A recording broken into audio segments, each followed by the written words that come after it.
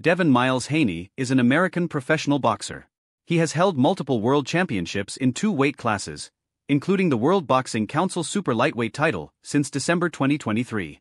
Previously, he held the undisputed championship at lightweight from 2022 to August 2023.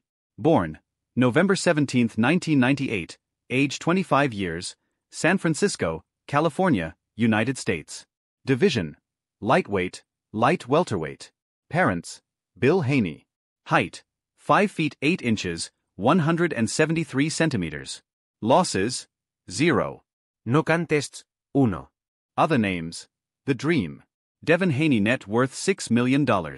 Early life. Haney was born in San Francisco and lived in Oakland, California as a child, but moved to Las Vegas with his father Bill at the age of 14. He started boxing at the age of 7. Haney is a practicing Muslim. Professional career. On February 2, 2018, Haney was scheduled to fight Hermanito Delatorre in an eight-round opening bout. Delatorre had problems obtaining a travel visa and subsequently withdrew from the fight. Unable to find an opponent, the date was scrapped.